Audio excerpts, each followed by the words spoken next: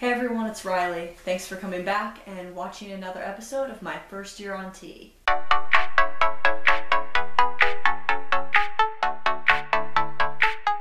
This week we're talking about sexual orientation and dating. I identify, that's a good question. How do I ident- identify?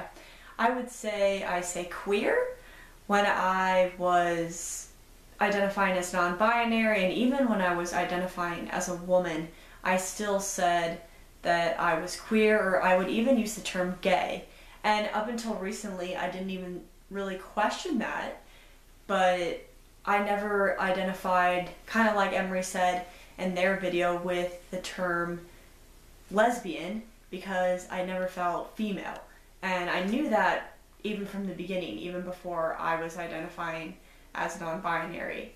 So I just used the word gay, even though I didn't like men. But I was kind of like quite behind the typical coming out. I came out a bit later in life. I came out as I think I said bisexual first, and then I just changed to gay or queer. And that wasn't until I was 22. And then I didn't come out as trans until I was 28. I'm primarily interested just in women. I've always said that I wouldn't, I can't say I would never date a guy again, but I haven't dated a guy for, I think, like, what, eight years or something. So probably not. I have always had a really, really hard time with dating. I am usually single, and people I kind of used to have like people used to think that it was easy for me to get women. I went to the gay bars a lot. I did have a lot of dates, but keeping them around was always really hard for me. It still is really hard for me. I've had a couple longer term relationships, but the relationship I'm in right now is with my girlfriend, and we've been dating for about 15 months, and that's been one of the longest relationships I've ever been in. I feared that if I started testosterone, it would make me even harder to date, and that kept me away from it for a very long time. And I remember talking to a trans guy friend I had, and he said, I mean, if you want to start hormones, you just got to do it for you. You can't be living for anyone else. Why hold yourself back in fear when you should just be confident in who you are? And I know I should have known that before, but he was so right. I think being trans is definitely way, way harder to date.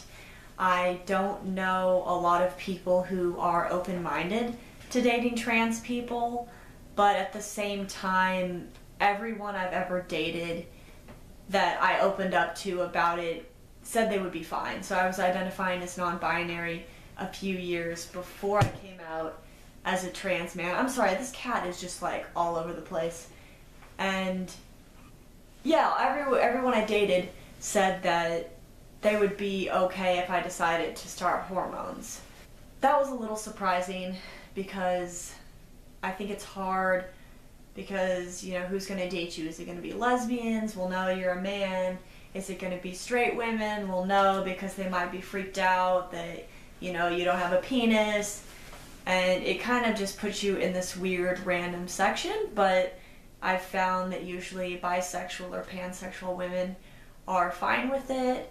I would say my biggest insecurity with dating is that almost all i mean i'm exaggerating a bit but a lot of my past partners and relationships have left me for cisgender guys. And that was when I was identifying as female or non binary. So that has been very difficult for me in the past. I actually had a partner at one time tell me that she thought I was trans, and I was really shocked that she said that. And I was like, I am not trans. And yeah, it's kind of surprising that sometimes the partners that I have had in the past saw it before even I did. I think starting hormones does make things more difficult because it just changes your body in lots of ways and it's a really hard thing for you to be going through full of ups and downs and I can imagine that it's hard for a partner to also be going through that as well as supporting you. I'm very lucky that my partner is open minded and fine with all of that. There have been moments that she's had a hard time just kind of running it all through her mind, but when we met, I was identifying as non binary, and within like the second or third date, I told her I was coming out as trans, and within two months, I came out as a trans guy right after that. So she was just really used to it from the get go. But if you're in a longer term relationship and then you're coming out as trans, I could see that being more difficult. I've heard a lot about trans guys, their sexuality changing over time, and it kind of scares me, but I also need to just keep an open mind that it could happen.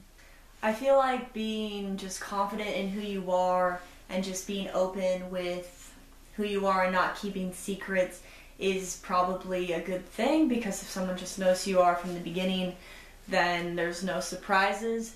But at the same time, I know it's difficult, especially if you just don't want to share that personal information. It's hard to put yourself out there. And if you want to just be stealth and just, you know, find dates like that, I mean, you don't ever have to tell anyone. It's your personal business and you can disclose when, if, whatever, whatever you want to. All right, I have ran a lot of time, way longer than I expected, so I'm going to stop there. But thank you for watching and please subscribe. I'm trying to get 100 subscribers very soon. Alright, I'll see y'all next week. Bye.